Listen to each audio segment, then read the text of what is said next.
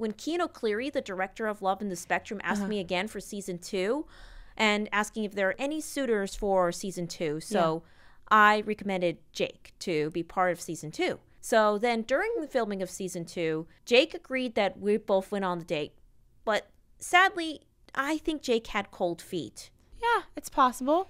Why do you think that? Well, it's because he wasn't Yeah. ready for the relationship, which really just it was heartbreaking. He couldn't really send me a Valentine or anything. My Yeah. friends send me Valentines, but Jake didn't really care. He's really nice, very respectful, though he didn't want to keep my hopes high. But anyways, Yeah. even though it was heartbroken, I got over it very quickly. We still remain right. friends.